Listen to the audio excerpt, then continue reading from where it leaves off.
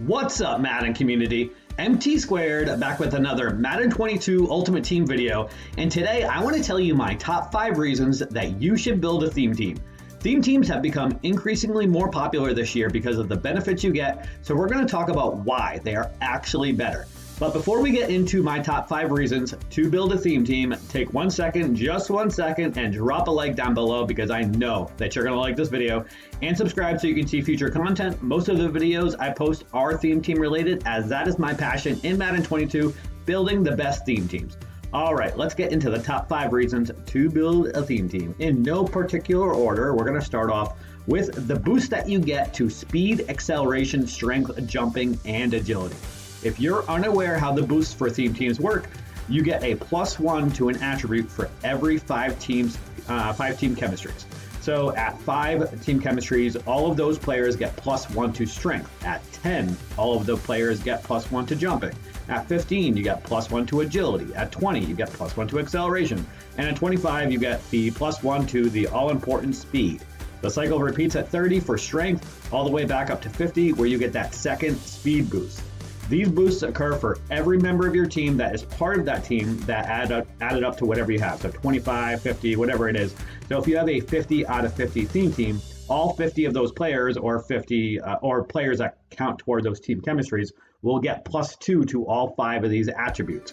If you have players that are not part of that team, then they won't get those uh, boosts to those attributes.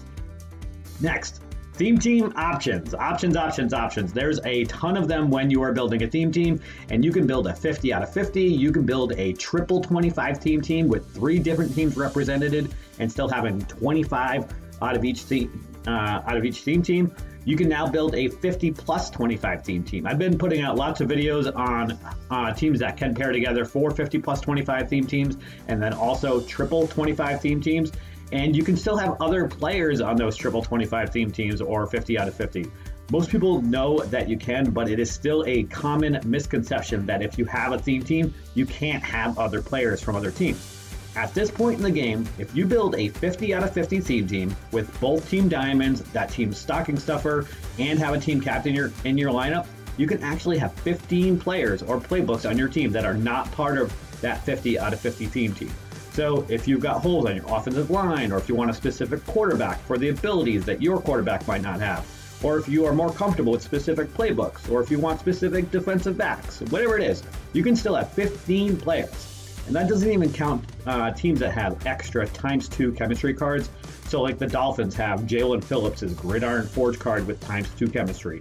Ndamukong Suh also gets times two chemistry for the Dolphins or the Cowboys have CeeDee Lamb and Ezekiel Elliott with both times two chemistry. So both of those teams, the Dolphins and the Cowboys, can have 17 open spots on their team. And there's many other teams that have other cards with extra times two chemistry. So the Bills, the Broncos, Bengals, Rams, Bucks, Panthers, Titans, Patriots, Lions, Steelers, Saints, 49ers. Yeah, lots of options. And there's a lot of teams that have those hidden extra times two chemistry cards. Um, but if you build a triple 25 theme team, you can have anywhere between four and eight extra spots depending on the teams that you choose. This is actually my favorite scenario and what I think is best. I'm currently running a triple 25 theme team with Arizona, Detroit, and Washington. You also have the option of running a 50 plus 25 theme team, which is very popular right now. I've been doing a lot of videos on teams that you can pair together, but there is normally no room for error at all as it has to be very precise, including all playbooks. All right, next. You don't always have to go out and get the best players at every single position. Part of the frustration of Madden Ultimate Team is having to constantly upgrade players with new cards that come out every single day or every single week how many times have you gotten a new wide receiver or running back on a Tuesday for the new Team of the Week cards? Spent anywhere between 300 to 500,000 coins on that card, plus 5, 10, maybe 15,000 in training, depending on how late you are in the year, to fully upgrade the card, just to have overalls increase and then an even better card come out at the same exact position four days later for Legends Weekend. Unfortunately, some cards have a short shelf life because of how often new cards come out, uh, and there being so much content that comes out every week, which is awesome that we get so much content. But again, um, if you're one of those player uh, pl- people that like to have the best players at every single position, it's almost like a curse and a blessing.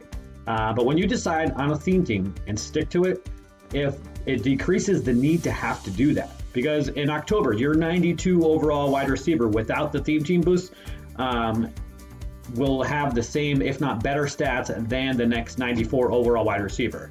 I'm sorry, I mean 92 without the theme team boost, but they're going to get the boost to speed and acceleration, strength, jumping, and agility. So that 92 is actually going to become like a 94 probably um, with the theme team boost.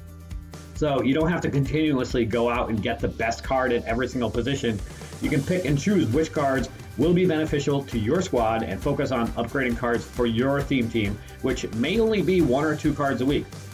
All right, next, makes the best players in the game even better. This might be my favorite reason. So let's go back to the date the game came out. Who was the fastest receiver in the game? If you don't remember, you'll remember real quick because if you didn't have him, you played against him about every single game probably. Tyreek Hill. His 87 overall card had 89 speed, so he had 90 speed when he was powered up. The next guy behind him was DK Metcalf's 83 overall card with 87 speed. Still a really good card. Didn't have as good of uh, route running as Tyreek Hill. So that Tyreek Hill card was very overpowered at the beginning of the game. So if you put Tyreek Hill on the Chiefs theme team, and you're talking about a 92 speed without strategy cards. 92 speed doesn't sound like a big deal now, but back in August and early September, that was a huge deal, and many people used that card for a very long time in the beginning. And then he continually got upgrades, obviously. Uh, but you could draw this same comparison to defensive backs, to even defensive linemen, because uh, we all need fast defensive linemen, tight ends, running backs, even quarterbacks, anyone. And we all talk about speed, but you're also adding acceleration, jumping, agility, and strength. All right.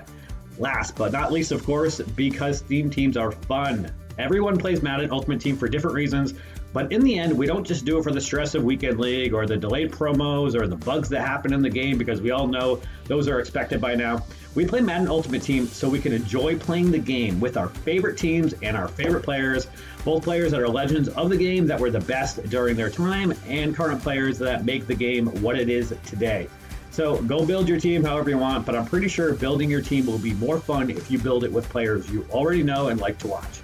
And that's it for today's video, guys. Um, I know very different style than what I have been doing, uh, but I kind of wanted to, you know, kind of give you guys a perspective of well, how I look into theme teams and why I think that they're important and why I think that they're uh, much better than the God Squads and can be more fun. Uh, but let me know what you guys think about this video. I'd love to hear what you love the most about playing Madden. Maybe it's building teams. Maybe it's getting stressed in some sweaty weekend league games. Maybe it's just solo challenges and getting all the free stuff in Madden. Or maybe it's stuff like house rules. For me, I love analyzing teams and figuring out how I can make the best players in the game even better. I hope you did enjoy this video or found it helpful. And if you did, drop a like down below and subscribe so you can see future content. And thank you for watching.